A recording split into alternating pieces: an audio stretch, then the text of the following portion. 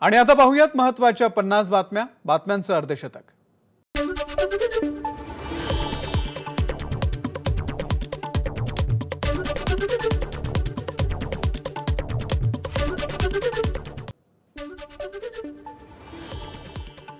Reliance उद्योग समूहाचे सर्वे सर्वा मुकेश अंबानी यांनी मुख्यमंत्री एकनाथ शिंदे यांची भेट घेतली.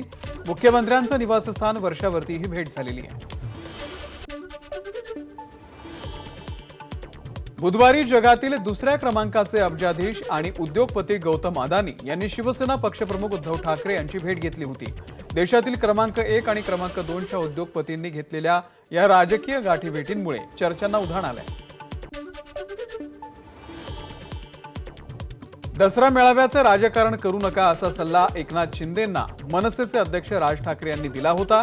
अशी माहिती मनसेचे नेते प्रकाश महाजन यांनी एबीपी माझाला बोलताना दिली आहे. शिंदे गटाचे नेते आणि उद्योग मंत्री उदय सामंत यांनी मनसेचे नेते प्रकाश महाजन यांच्या वक्तव्यावरती प्रतिक्रिया दिलेली आहे. राज यांच्या सल्ल्याबाबत माहीत नसल्याचं सामंत यांनी म्हटलंय. पीएफआयच्या कार्यकर्त्यांना अटक करताना झालेल्या घोषणाबाजीवरती मनसे अध्यक्ष राज ठाकरेंनी कठोर शब्दात टीका केली. देशद्रोह्यांचं समर्थन करताना धर्म आणि पाकिस्तान आठवत असेल तर तुमचा धर्म घ्या आणि पाकिस्तानमध्ये चालते व्हा ही थेरं आमच्या देशामध्ये चालणार नाहीत असं राज यांनी आपल्या ट्विटमध्ये म्हटलंय.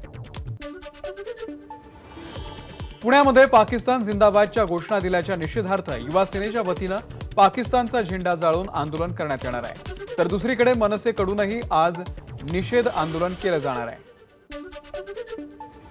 राज्यामध्ये जिल्ह्याच्या पालकमंत्र्यांची यादी जाहीर करण्यात आलेली आहे. विशेष म्हणजे देवेंद्र फडणवीसांना विदर्भामधील सहा जिल्ह्यांच्या पालकमंत्रीपदाची जबाबदारी देण्यात आली आहे.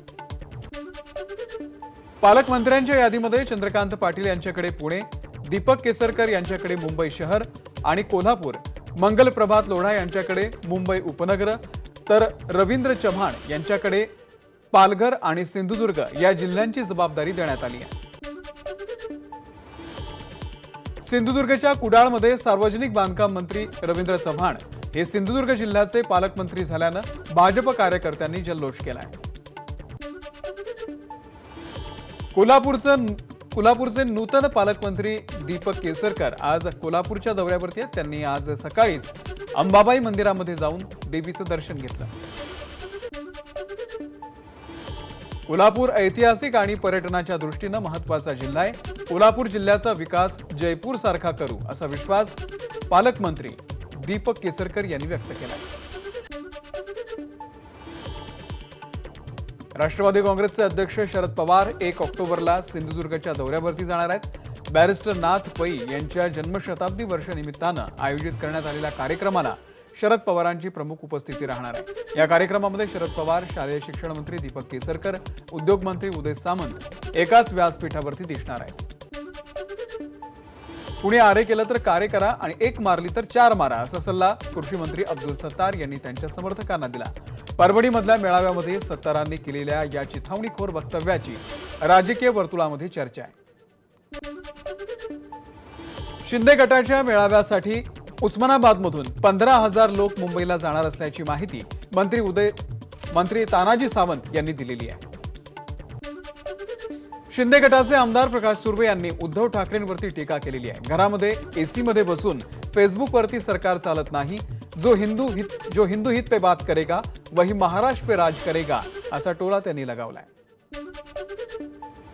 बिहारचे मुख्यमंत्री नितीश कुमार आणि राजदचे नेते लालू प्रसाद यादव आज सोनिया गांधींची भेट घेणार आहेत. विरोधी पक्षनेत्यांना एकत्र आणण्यासाठी सोनिया गांधी यांची भेट घेणार असल्याचं लालू यादव यांनी सांगितलं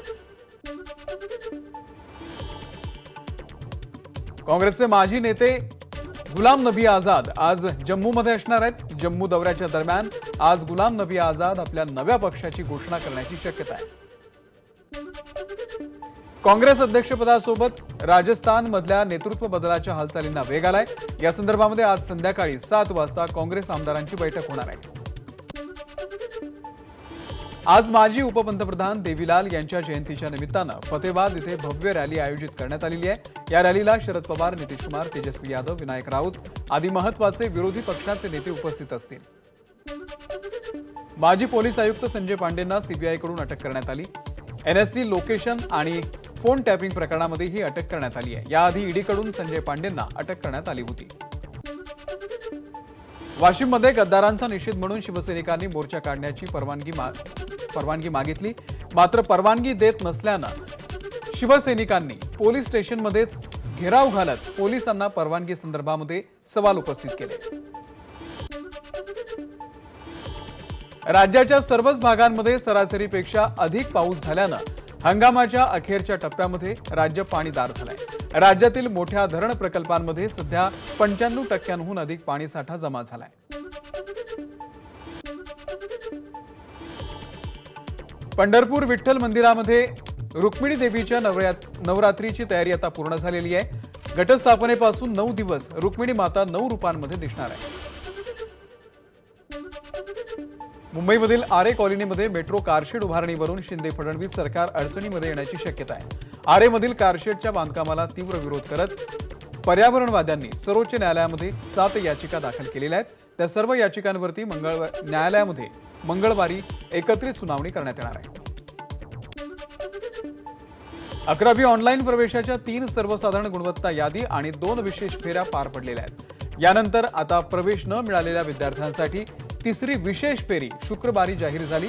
या फेरीमध्ये अठरा हजार नव्वद विद्यार्थ्यांना प्रवेश मिळाले तरी अजूनही सुमारे आठ हजार विद्यार्थी प्रवेशाच्या परीक्षे प्रतीक्षेमध्ये आहेत.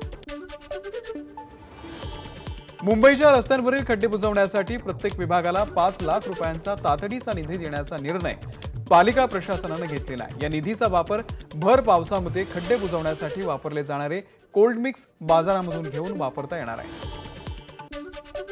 मालेगाव बॉम्बस्फोट खटला चालवण्यात चालढकल करणाऱ्या एनआयएला मुंबई उच्च न्यायालयानं फैलावृत्ती घेतलं. मालेगाव खटला निकाली काढण्यासाठी आणखी किती वेळ घेणार? असा सवालही करत न्यायमूर्ती अजय गडकरी आणि न्यायमूर्ती मिलिंद जाधव यांच्या खंडपीठानं एनआयला जाब विचारला. तसंच पुढील सुनावणीच्या वेळी या संदर्भामध्ये माहिती द्या असे आदेशही दिले. मुंबईमध्ये लंपी बाधित आढळलेल्या तीनही गायी लंपी मुक्त झालेल्या आहेत. तर मुंबईमधील सर्व गोवंशीय प्राण्यांचं लसीकरण पूर्ण झालेलं आहे. नंदुरबार नवापूर रस्त्यावरती विजयादेवी गावाजवळ ट्रॅक्टर आणि मोटरसायकलचा अपघात झाला. या अपघातामध्ये एका तरुणाचा मृत्यू झाला.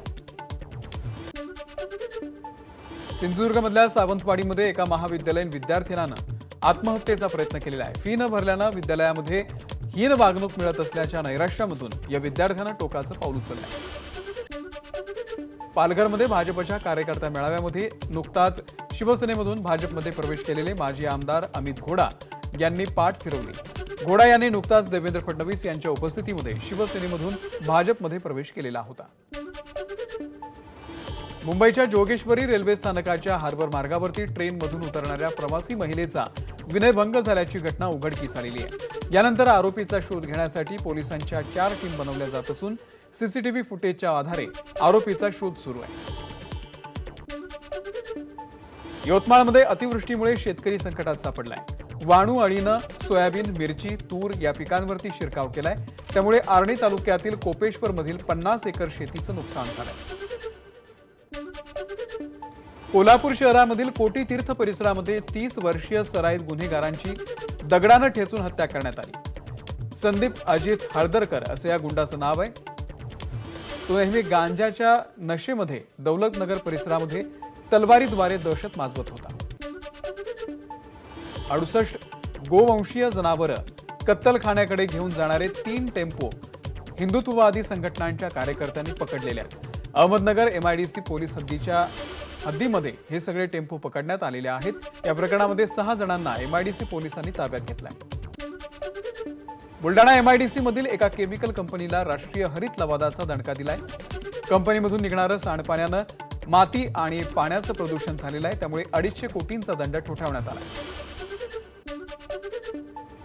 देवगड हापूसची चव जानेवारी महिन्याच्या पहिल्या आठवड्यामध्ये चाकता येणार आहे. सध्या वातावरणातील बदलांमुळे समुद्र किनाऱ्यावरील देवगड विजयदुर्ग मालवण वेंगुर्ले या पट्ट्यामध्ये हापूस आंब्याला लवकर मोहर आलेला आहे. हा मोहर टिकून ठेवण्याचं आव्हान आता आंबा बागायतदारांच्या समोर असेल. ऑक्टोबरच्या पहिल्या आठवड्यामध्ये फाईव्ह जी सेवा सुरू होण्याची शक्यता आहे. पंतप्रधान मोदींच्या हस्ते फाईव्ह जी सेवेचा शुभारंभ होणार आहे. सुरुवातीला देशातल्या तेरा शहरांमध्ये ही सेवा उपलब्ध होईल. मोबाईल फोन युजर्सना स्पॅम कॉल्स तसंच बनावट मेसेजपासून लवकरच सुटका होऊ शकणार आहे. नवीन दूरसंचार विधेयक लवकरच येत असल्याची दूरसंचार मंत्री अश्विनी वैष्णव यांनी माहिती दिली आहे. तिरुपती देवस्थानकडे पंच्याऐंशी हजार कोटी रुपये किमतीची स्थायी मालमत्ता असल्याची माहिती समोर आली. देशभरामध्ये तिरुपती देवस्थानच्या नऊशे साठ जमिनी आहेत अशी अधिकृत माहिती तिरुमला तिरुपती देवस्थाननं दिलेली आहे. विरोधी पक्षाचे नेते सीबीआय ईडीच्या दबावाखाली आहेत असं वक्तव्य माजी केंद्रीय मंत्री कपिल सिब्बल यांनी केलेलं आहे. देशातील लोकांमध्ये भीतीचं वातावरण असून आम्हीही त्याच दहशतीखाली जगतोय असं त्यांनी म्हटलंय.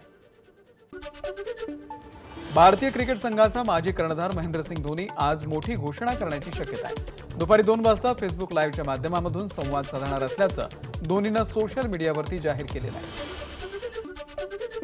बॉलिवूडची गायिका नेहा कक्कड ही आता कायम चर्चेमध्ये असते. एका नव्या गाण्यामुळे ती पुन्हा एकदा चर्चेत आलेली आहे. सोशल मीडियावरती लोकांनी तिला एक आयकॉनिक गाणं खराब केल्याचा आरोप करत ट्रोल केलाय. त्यावरती नेहानं ट्रोलर्सना चोख उत्तर देत एक पोस्ट केलेली आहे. येत्या एकोणतीस आणि तीस सप्टेंबर रोजी पुणे राष्ट्रीय फिल्म संग्रहालय या ठिकाणी मुंबा आंतरराष्ट्रीय लघुपट महोत्सव मोठ्या दिमाखामध्ये साजरा होणार आहे. या महोत्सवामध्ये जगभरामधील एक्केचाळीस देशांमधील आणि भारत देशामधून दर्जेदार लघुपटांचा अस्सल खजिन्यांचा आनंद प्रेक्षकांना लुटता येणार आहे. बॉलिवूडसह अनेक दिग्गजांच्या आहार तज्ज्ञ ऋतुजा दिवेकर यांच्या घरी करीना कपूर आणि करिश्मा कपूर या बहिणींनी भेट दिली आणि झुणका भाकरीवरती ताव मारला. महाराष्ट्रीयन जेवणाचा आस्वाद घेण्याचा मोह त्यांनाही आवरला नाही. ऋतुजा दिवेकरनं इंस्टाग्रामवरती पोस्ट शेअर करत कपूर भगिनींच्या खबळेगिरीची माहिती दिली. एबीपी माझा. उघडा डोळे बघा नीट.